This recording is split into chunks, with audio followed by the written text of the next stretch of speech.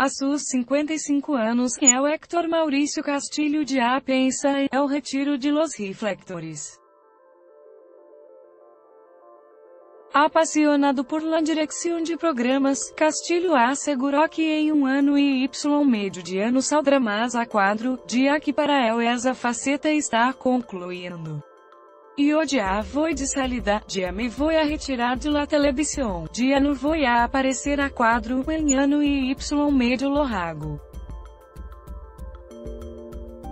Dias definitivo, dia que quero dedicar-me a dirigir, que isso na de las coisas que me gustam atualmente, quero dedicar-me a pintar, que isso que hago melhor, y a escrever, afirmou Castilho em entrevista.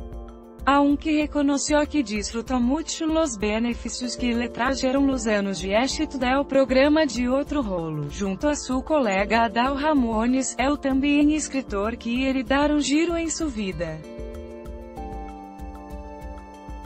Mis hijos já estão em la universidade. Dentro de cinco anos creio que já se vão a casar.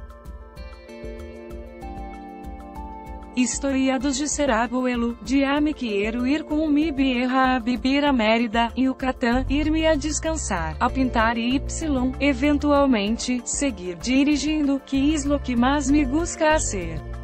La decisão de não aparecer mais a quadro significa que tendrá tempo para a escritura, porque dizia experimentar com la faceta de cineasta.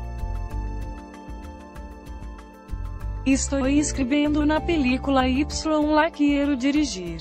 É uma cinta sobre a história verdadeira do México recente, no Será Mídia, isso na trama mais histórico-política, manifestou.